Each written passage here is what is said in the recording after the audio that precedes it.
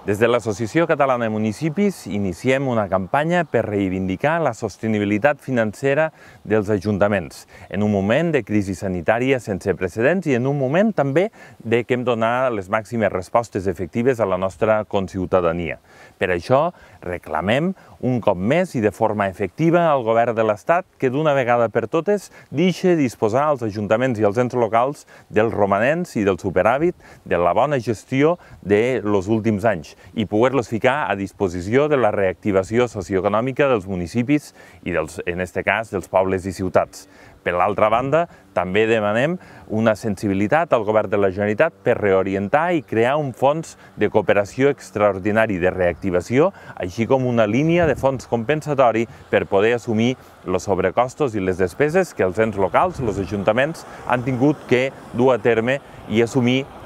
durant aquesta crisi sanitària. No s'entendria que en un moment de màxima necessitat, d'un moment que el context és eh, imprescindible donar resposta a la ciutadania, que no poguéssim des dels ajuntaments tindre la sostenibilitat financera necessària per donar la cobertura imprescindible en aquest context.